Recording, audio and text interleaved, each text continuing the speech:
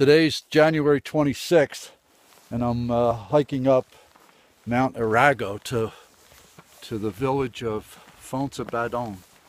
Uh, I left Astorga this morning, and uh, I'd like to get here. It's pretty far from Astorga, about 28 kilometers.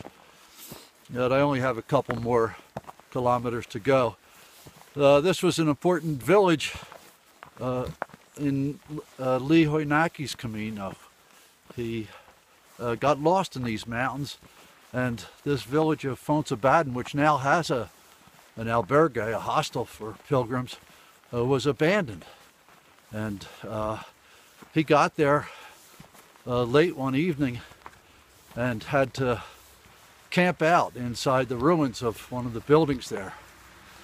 Uh, so, you know, his book uh, was important to me in my preparation for the Camino, and I I wanted to get to this village.